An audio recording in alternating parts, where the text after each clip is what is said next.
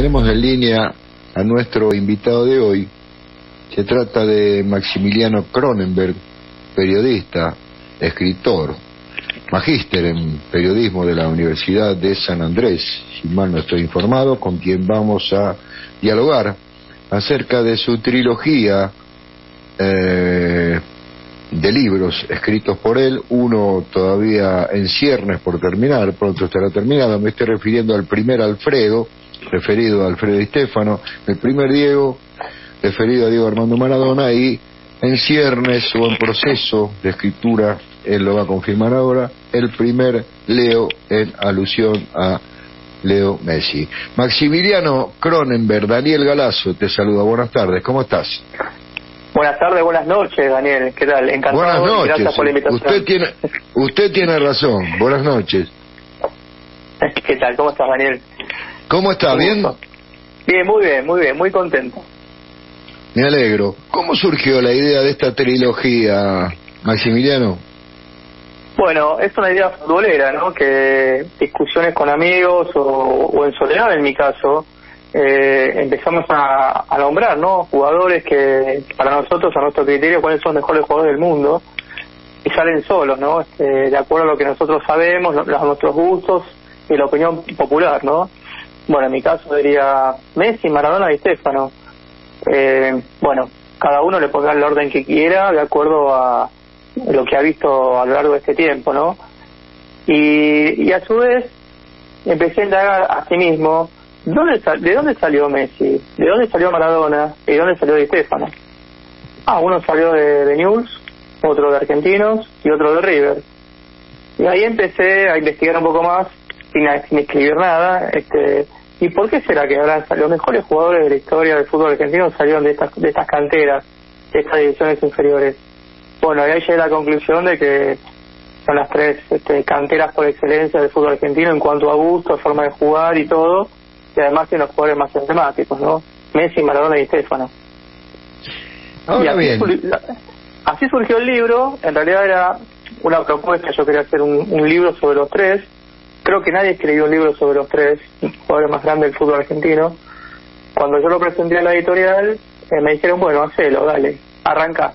Me mostré algunos capítulos, se le gustó, y al mes, más o menos, esto fue el año pasado, me dijeron, ¿podemos anular el contrato? Yo ahí tenía miedo, pensaba que se caía todo, me dijeron, Claro. bueno, te vamos a hacer otra propuesta. ¿Por qué no haces, no haces uno de cada uno? Bueno, y eso me gustó mucho más, me terminó de cerrar la idea y empecé a escribir los libros. Claro. La editorial, digámoslo, el libro fútbol, ¿no? sí, editorial Libro Fútbol.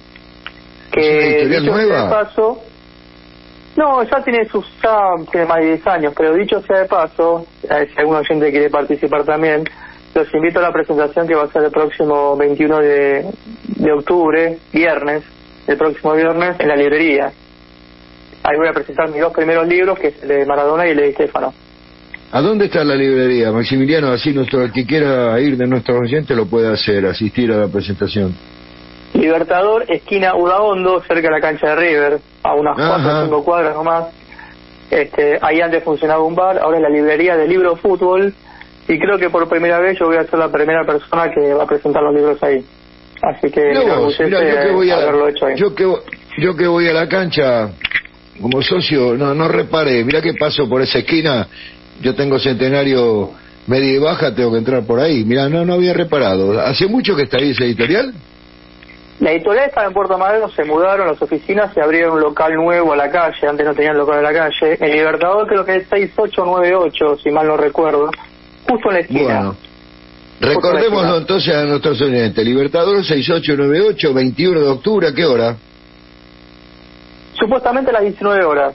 Igual ya lo pueden Bueno. conseguir el libro, están ahí los libros, el de Maradona o el de Di Stefano, están todos ahí. Sin embargo, voy a hacer la presentación aproximadamente a las 19 horas. Voy a estar, voy a estar ahí. Eh, Pues Maximiliano. ¿por qué, por qué eh, el primer Alfredo? ¿A qué, eh, ¿A qué se debe esa adjetivación, primer Alfredo? Por más que nada es una ayuda que me dio la editorial por el título, ¿no? Se trata de una trilogía y empecé en orden cronológico, el primer Alfredo, porque fue el primero de todos, fue el más grande de todos los jugadores a nivel global, ¿no? A nivel mundial, argentino.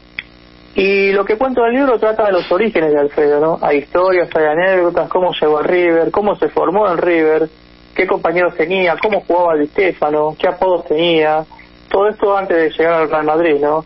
Eh, porque bueno, ¿cuántos libros hay de Stefano? ¿Cuántos libros hay de Maradona también o de Messi? En este caso yo quería mostrar algo distinto de cada uno, ¿no? Sus orígenes y por qué son argentinos.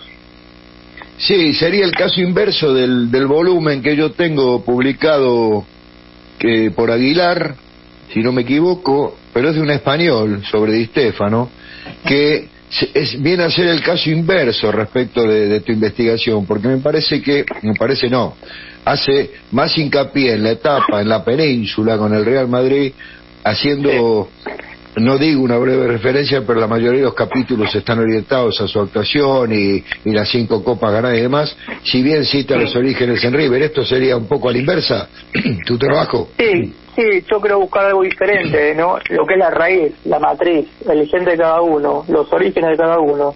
En el caso de Estefano traté de, buscar algo, historias distintas, más allá de que se sabe la gloria que tiene el Real Madrid, y también tratar de dilucidar si es ídolo o no ídolo en River, ¿no? Cómo lo trataron, qué es lo que pasa a de la historia. Eh, además el libro este, cuenta con, con, dos prólogos. Uno de ellos es de José Ariza, que es un periodista malagueño de España, que escribió dos libros sobre, sobre Estefano en River, llamados Paleta Rubia, que están en, en el club, en el museo del club están esos libros y además escribió muchos libros de Stefano al Real Madrid. Y el otro prólogo es uno de los este, bueno de, Patricio Nogueira que es el vicepresidente del Museo River historiador también. O sea que todo lo que cuento en el River está avalado por el Club Atlético River Plate tanto Stefano como River. Porque no solamente cuento la historia de Stefano sino que cuento toda la historia de River. Y decime según el libro según tu investigación y según tu punto de vista particular eh, Di Stefano, en la época de nuestro club, cuando vistió la camiseta de nuestro club, estuvo a la altura de otros ídolos como La Bruna, Moreno. ¿Cómo, cómo, cómo, cómo lo tratás eso en el libro y o qué reflexión te deja, qué, qué conclusión y qué, qué hipótesis eh, te deja esta, esta cuestión? Bueno, primero no, no voy a spoilear el libro, no voy a contar todo, todo, todo. No, no, por supuesto, no, no, no. Pero Di Stefano siempre lo cuenta, cuando ya era una gloria del Real Madrid, ya retirado, le preguntaba cuál es la mejor delantera que vio en su vida, y siempre dijo, dice lo mismo. Muñoz, Moreno, Pedernera, La Bruna, Lutó. Di Stefano se deleitaba viendo la máquina. Porque él no jugaba al fútbol en River. Justamente no jugaba porque había cinco monstruos delante de él, que eran Muñoz, Moreno, Pedernera, La Bruna y, y, y, y Luzó es decir, cinco jugadores formados también íntegramente de la cantera de River. Más Di Stefano que no jugaba, por eso tuvo que ser cedido Huracán. Y él siempre se enorgullecía del fútbol de River. Estando en el Real Madrid, también acá este, elogiaba al club, a la política que tenía para formar jugadores y sobre todo este, a la máquina. Bueno, esa es la conclusión que yo llego. Él siempre manifestándose desde la humildad, porque su gran ídolo siempre fue y será Pedernera, y pudo entrar a la máquina o lo que lo que quedaba de la máquina de Estefano cuando Pedernera se fue a Atlanta. Ahí tuvo la posibilidad de volver a River y empezó a jugar al fútbol. Pero si no si no se hubiese ido Pedernera tal vez sería imposible que, pudiera jugar al River de Estefano claro. Además me parece que hay todo en, ese, en esa etapa del River del 41 42 la máquina. Y después hay toda una etapa romántica, si se quiere, ligada con, con, un, con un portenismo, con, con, lo local, con el espacio local geográfico, muy, muy fuerte, ¿no? Sí, sí, sí, sí, sobre todo él, porque él se declara boquense, en el sentido que nació prácticamente en el barrio la Boca, él nació en Barraca, pero estaba lindando con el barrio de la Boca, y siempre se aferraba a lo que era el barrio, ¿no? Este, lo que era vivir en Buenos Aires. Él se consideraba un porteño de ley, más allá de que después hizo toda su historia, en, bueno, primero en Colombia después pasó a Madrid, ¿no? Eh, él lo tenía muy, muy arraigado el sentimiento argentino y el sentimiento, ese sentimiento porteño. Es más, el, el momento de expresarse también lo hacía de esa misma manera. Eh, jamás perdió el acento, Stefano. Eso habla también de, ese arraigo que tenía por, por Argentina. Después, bueno, jugó en España, ya se sabe la historia y todo, pero él, extrañaba horrores este, en, en, Argentina. Se fue por una circunstancia que era la huelga 48. si no hubiese, hubiésemos tenido Estefano creo que para toda la vida. ¿Son comparables en alguna manera, conforme tus obras y tu investigación, eh, el de, los devenires de Diego Maradona y de Alfredo Di Stefano? Eh, no tanto, creo que si puedo juntar a Messi también, los tres cada uno tuvo una historia de película, cada uno a su manera, en su forma. Y, y Stefano tal vez se parezca un poco más a la historia de, Messi, porque se fue muy joven, se fue muy temprano, solamente estuvo cuatro o cinco años en River, en el 45 prácticamente no jugó, debutó en el 45 y salió campeón en ese recordado equipo, pero fue un solo partido, en el 46 estuvo en Huracán, después volvió a River, se fue en el 49, o sea que estuvo mucho, muy, muy poco tiempo, por eso el hincha, el hincha de River no lo pudo eh, disfrutar demasiado. En cambio Maradona sí, estuvo un poco más de tiempo, Argentinos, Boca Juniors, y eso lo hizo más como un mito ¿no? de los argentinos, ni hablar del Mundial 86, ¿no? Esa es la, diferencia que yo encuentro entre Estefano y, Maradona. Pero en el momento de jugar al fútbol, este, siempre hubo un respeto mutuo entre Estefano y Maradona. Diego creo que no lo, no lo vio jugar, pero sí sabía mucho de él, se informaba mucho Diego de Maradona y siempre hablaba, eh, lo elogiaba a Estefano. Decía que era el jugador más completo de todos, inclusive mucho mejor que él. Es como que los dos se tiraban flores, pues. Pero siempre hubo un respeto mucho. Qué notable Qué notable que eh, que en el caso de Stefano, de Alfredo, con los pocos años que jugó en River, como vos lo señalaba y todos lo sabemos, haya quedado eh, en, en el canto popular creado por la, por la tribuna, en este caso por nuestra tribuna, hoy ya este, eh, obligado a desempolvar por el paso de los años, ¿no? Porque los jóvenes no, no lo van a registrar, pero sí las crónicas lo registran, aquello de quedó plasmado en el canto popular, socorro, socorro, ¿no? Ahí viene la saeta con su propulsión a chorro. Sí, exactamente. Bueno, eso es lo que marcó un antes y un después para, para Alfredo, porque ese mote lo, llevó casi toda su vida. Él tenía otros apodos, pero lo que, el que más lo distingue es la saeta rubia. Y la saeta rubia salió de Argentina. Ese mismo apodo después se trasladó en España y a Estefano en España en el Real Madrid lo conocen también como la saeta rubia. Eso también marca una, época, que es el año 47, cuando Estefano volvió a River. Eh, fue la figura indiscutible del equipo en River y fue el máximo goleador del campeonato. Creo que hizo 28, 27, 28 goles, en este no tengo el dato preciso, creo que fueron 28 en 30 partidos. En, en ese campeonato River marcó 90 goles en total. Es impresionante la cantidad de goles que hacía River.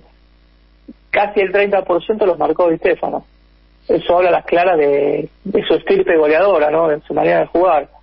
Y su manera de jugar también tiene que ver con su, con su, con su calidez humana, porque como se decía que Stefano era un jugador de toda la cancha, no solamente convertía, sino que asistía, desnivelaba, defendía, marcaba y también fue arquero, ¿no? Fue un arquero, este, reemplazó a Madero Terriz en un recordado partido en el 49 justamente contra Boca. Este, eso también habla de su humanidad, ¿no? de, de su espíritu colaborativo dentro y fuera del campo de juego. La es comparable la repercusión en, en Europa. Perdón, no te escucho bien. Digo, es comparable la, ¿la escuchás ahora? Sí, ahora sí, ahora sí. Bien.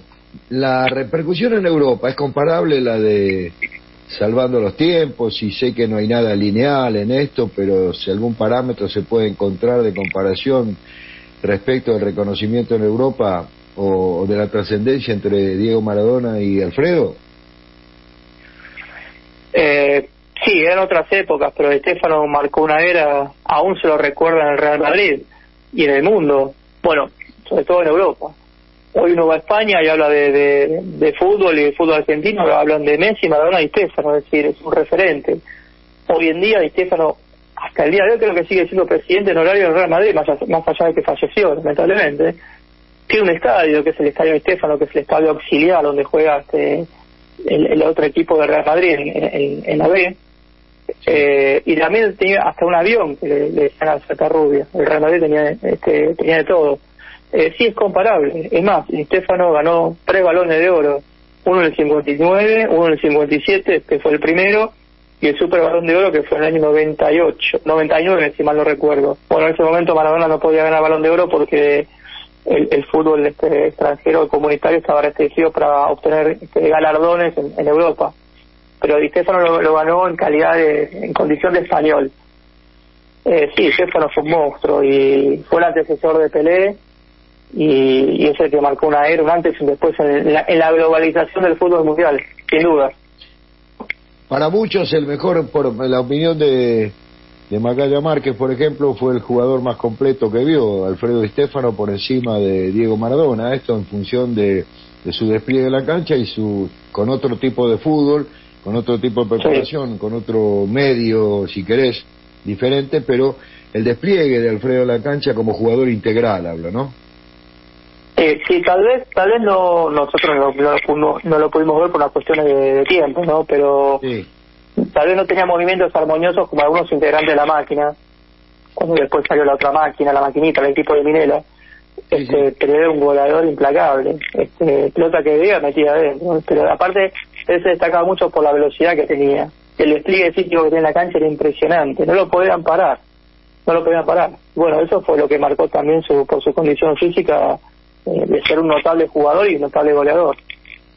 Estamos hablando de un momento donde no se ganaban tantos títulos. Por eso hablo que marcó un antes y después Alfredo en, el Real Madrid, porque el Real Madrid hace 20 años que no venía, no, no, no, salía campeón.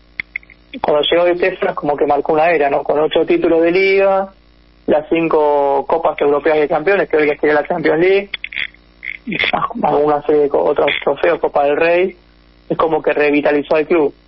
Mm. ¿Cómo fue la redacción Diego Maradona, Alfredo Di Stefano. Digo porque por ahí, viste cómo son a veces las las susceptibilidades y los egos, ¿no? Cuando se trata de, que de dos grandes. No, siempre siempre fue cordial, siempre fue este, muy respetuosa, sobre todo de Diego hacia don Alfredo, porque era mayor, y también de don Alfredo hacia, Diego, ¿no? A pesar de que Maradona jugó un tiempo en, Barcelona y sabemos de lo que era la rivalidad entre Barcelona Real Madrid como un Boca River es que siempre se mantuvieron mutuo, mutuo afecto porque eran son argentinos no este y siempre se apoyaban no sobre todo yo destaco el respeto de Maradona hacia Alfredo como lo dije antes no este un caballero era era, era Estefano. Después en River pasaron cosas no este, con el tema de Alonso en Nacional 81 Estefano dirigió en Boca salió es el único técnico que salió campeón en Boca y en River a la vez. Este, no existe otro técnico que haya logrado ese, ese hito, este, pero Estefano siempre fue, se comportó como un señor, este, en Argentina, tanto en Argentina como en España. Sí, de esto me voy a hacer cargo, lo que digo, ¿no? El tema eh, de que a veces Boca Junior buscó técnico River Platense tiene que ver con, con a ver si se puede mejorar un poquito el estilo, ¿no? Ah, sí, sí, sí eh, por algo fue que que Alberto Jorge Armando lo fue a buscar, ¿no? con el famoso fútbol espectáculo, bueno, eso fue a finales de la década de 60, ¿no? Sí. Y Estefano llegó al país eh, con varias frustraciones porque quería ser técnico en España y no, no podía conseguir títulos, tampoco podía conseguir títulos con el Real Madrid. Llegó a Argentina y el primer equipo donde llegó como técnico fue Boca Juniors, la verdad que son paradojas del destino. Pero también tiene que ver con un destino marcado por Alfredo Estefano.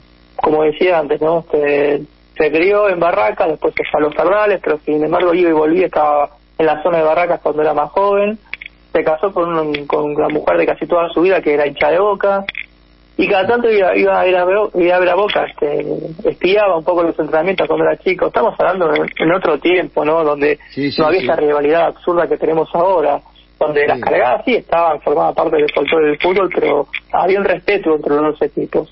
Y Estefano iba cada tanto a ver los entrenamientos de Boca y aprendía también. Y eso también tiene que ver la escuela de River, de cómo fue enseñándole la conducta a los jugadores dentro y fuera del campo de juego, a tal punto que, que Estefano marcó un antes y un después en el Real Madrid, fue a Boca y también marcó escuela, ¿no? Porque ese equipo del 69 fue muy recordado, con Rojita, Madurga, Novero. Así es. Y vos citaste el 47, vos sabés que si mi memoria no falla, el año 47, que es campeón River. Eh, sí, sí, sí, salió campeón River y Stefano fue goleador. Sí, sí, sí, sí. Lo invita a Boca como hermano. Está la nota, no me acuerdo en qué medio, de dos páginas, en donde lo invita como hijo del barrio a festejar juntos, festejaron juntos el campeonato del 47 como un equipo, bueno, ya River se había ido en el 23, pero me acuerdo de ese hecho significativo que está publicado. Bueno, también hay, eh, eh, esto también lo cuento en el libro, en los grandes partidos de River, no solamente hablo de Stefano en mi libro, sino que también hablo de los grandes partidos de River, donde jugaron jugadores funciones inferiores, el millonario. Hay un partido muy recordado en el año 71 que River le ganó, le lo bailó eh, a Boca por 3 a 1. En cancha ese partido. Bueno, es lo que cuento en el libro, es la crónica ¿no? de, la revista Así es Boca, felicitando a River por el tremendo juego que hicieron en cancha raza, ¿no? Y si, no me equivoco, si no me equivoco, dice, quisiéramos festejar como ellos o algo así. Sí, sí, sí, sí, sí, eso está está grabado patente porque hay registros de, de, las revistas, todavía por suerte siguen apareciendo ese tipo de revistas que son reliquias hoy en día. Sí. Este, y se pueden conseguir.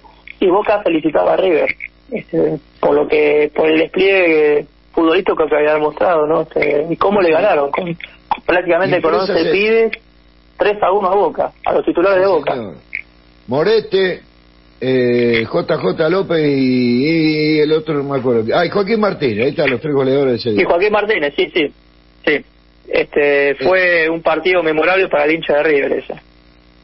Mirá, casualmente, revisando mi biblioteca en la parte de de publicaciones encontré ayer, no encontré, volví a reunirme con el gráfico, esa edición del gráfico, que viene con la lámina que dice Inolvidable Noche de River, justamente lo estaba mirando ante, ante ayer, el tema del 3 a 1 en la cancha Racing, que bueno, obviamente el gráfico lo sacó, lo sacó en la tapa, está Morete festejando, ¿no? Inolvidable fue ese partido. Sí, sí, sí, sí, fue, fue un partido inolvidable para aquellos hinchas que tuvieron la posibilidad de, hacer, de estar en la cancha hasta el día de hoy se sigue recordando. A ver, partidos inolvidables, de River hay un montón, pero yo lo que hago hincapié más que nada es partidos memorables donde jugaron los pibes de la cantera, los jugadores promovidos por River. A ver, yo puedo hablar de la, pelota naranja, podemos hablar de la final de Madrid, pero yo hincapié en inferiores, ¿no? ¿Cómo River sacó tantos jugadores y pudo hacer partidos memorables como los que, como los que cuento en el libro? Si, si puedo, te podría pasar la formación ahora de River de ese partido. La tengo acá a mano. Dale. Bueno, River 3, Boca 1. River, eh, River formó con Maricio, Zucarini, Daulte, Héctor Izar Rodríguez, Osvaldo, Osvaldo Pérez, JJ, Merlo Alonso en el mediocampo, Joaquín Martínez Morete y Jorge Giso. El técnico era Didi, justamente Didi, esto vale vale vale aclararlo, Vinier un, un, gran jugador brasileño, por algo River lo, contrató, lo trajo y después este fue un gran formador de jugadores juveniles inferiores. Bueno, gracias a ahí salieron jugadores como Alonso, este Merlo, Merlo, bueno, otro tipo de jugador, ¿no? Pero otra característica, pero fue un pilar en River, ¿no? Fue el que más partidos tiene River, y JJ, ¿no? Este, vale, vale, este, hacer hincapié en esto, ¿no? Que siempre River buscó la manera de jugar al fútbol, esto del paladar negro, el buen juego, el estilo, el estilo refinado, y lo consiguió muchas veces, ¿no? A lo largo de la historia. Fíjate, Maximiliano, perdón que la historia se repite. Los 50, Chibori Menéndez.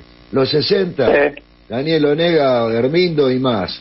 En los 70, JJ, el Beto Alonso o el Beto Giso. En los 80, me acuerdo de Mesina y Vieta en un clásico muy olvidado en la boca, 2 a 0 con un gol de media cancha de Mesina. En los 90 Aymar Saviola y podemos seguir. Y podemos seguir. Sí, tenés Ortega, tenés Almeida, tenés Crespo, este, tenés un montón de jugadores, Aymar, tenés un montón de jugadores que podés seguir. Por eso digo que River, este, que River para mí tiene la mejor cantera de la historia del fútbol argentino, es la mejor cantera del mundo por todos los jugadores que sacó. Estamos hablando de Sibori, de la Brun, Muñoz, Moreno, Pedernera, alguna gustó. Ya cuando habla de la máquina directamente, después que saca un, otro jugador de medio pelo, que sea, pero la máquina es la delantera más formidable que tuvo el fútbol argentino. Este, que superó también la delantera de la famosa delantera del Real Madrid de Estefano. Este, era impresionante lo que hacía la máquina en, la cancha. Bueno, así de River podemos hablar todo, toda la vida, ¿no? Maximiliano, se nos termina el programa, pero no me, no me quiero, no te quiero despedir sin, sin antes hacerte una pregunta, algo que yo también me lo estoy preguntando y me parece que me estoy debiendo un trabajo. Este, a mí me gusta mucho, yo soy docente de historia y me gusta investigar por, por, por defecto profesional, ¿visto? por formación. Pero, eh, ¿Es argentino Junior realmente? Con todo respeto lo digo con lo que quiero la institución de la paternal, ¿eh?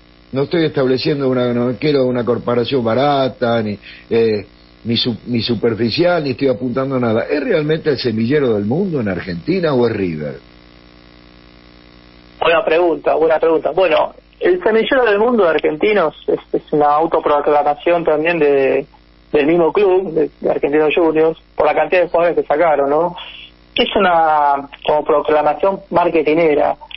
Si yo tuviera que, que decidir entre uno y otro, bueno, en cantidad me elijo, me quedo con River, ¿no? Porque River sacó muchos jugadores en cantidad y en calidad.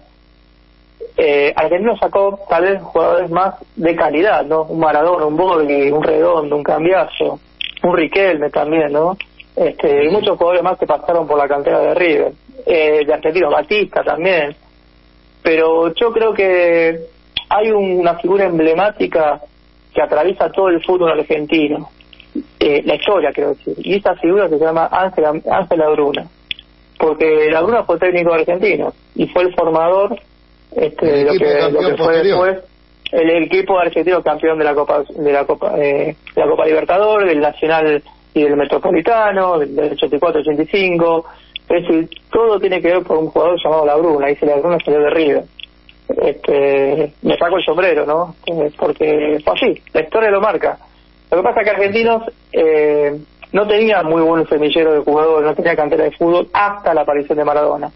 Ahí es como que descubrió que su gran joya empezó a promover jugadores, después vino el Club Parque, y un, toda una política para promover grandes jugadores, que de hecho sí lo hizo, ¿no? Porque hablamos de Redondo, Maradona, Gorgui, cuánto dinero hubieran tenido si hubieran hecho bien las cosas, hoy sería un club de primer nivel, Argentino Juniors, ¿no? Seguro. Pero sí lo tuvo River, ¿no? A través de los años, a través de las décadas, un gran, este, sigue siendo un gran, un gran, una gran institución que hace hincapié en la formación y promoción de jugadores. Y muchos brillaron al River, eso es importante. En el caso de Boca no, no es tan así, porque su política institucional no pasa por promover jugadores y que jueguen históricamente en la, en, la primera del club. River sí. Bueno, todo eso lo cuento en el libro, ¿no? el, estilo de juego, las formaciones, este, cuál es este, la filosofía ¿no? del club, de promover jugadores, de rodear figuras con, con pibes de las inferiores. Todo eso está en el libro. Bueno, Maximiliano, se nos terminó el programa. Yo te quiero agradecer profundamente tu presencia en el Ángel de River y la vamos a seguir. Decime si me equivoco. Avenida Libertador, 6898, 21 de octubre, 19 horas, presentación de el primer Alfredo y el primer Diego. ¿Dije bien? Perfecto. Es, es eh, el primer Alfredo de River, eh, eh, conjuntamente con Maradona, el primer Diego de Argentina, son los dos Diegos que traen en simultáneo. Habrá que extraer un poquito más para Messi para completar la trilogía. Perfecto, perfecto. Abrazo grande y bueno, la seguimos pronto. Gracias por tu Abrazo, grande, eh, Daniel, muchas gracias por todo y, y espero verte pronto.